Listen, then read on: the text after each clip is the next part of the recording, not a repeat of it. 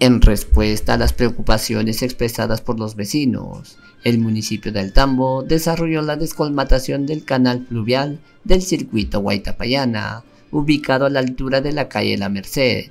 Este hecho ocurrió durante las intensas lluvias registradas en horas de la noche, que provocaron un aumento significativo en el caudal del canal.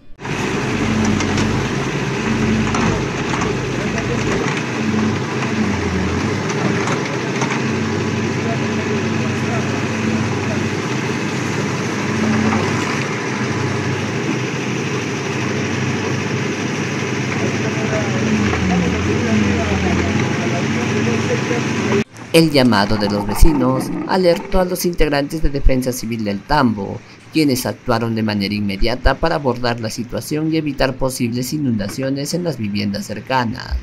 La limpieza y descolmatación del canal fluvial fueron llevadas a cabo con celeridad, brindando tranquilidad a los vecinos que temían por la seguridad de sus hogares. Asimismo se empleó una retroexcavadora para la labor.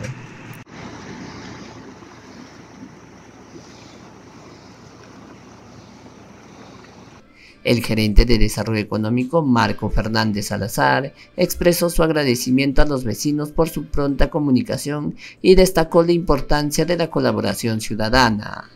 Efectivamente, nosotros en la noche tomamos conocimiento, es el canal de Guaitapayana por Batanyaco, que estaba inundadas las casas y nosotros tomamos una inmediata acción contratando un este, caterpillar para que haga la limpieza general de todo el canal.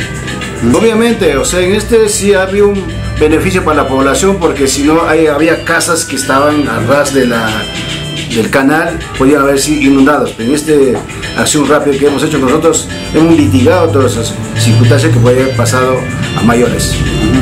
Exactamente, ¿cuál es el punto de trabajo que se ha desarrollado? Es el canal de Huaytapayana en Batanyaco.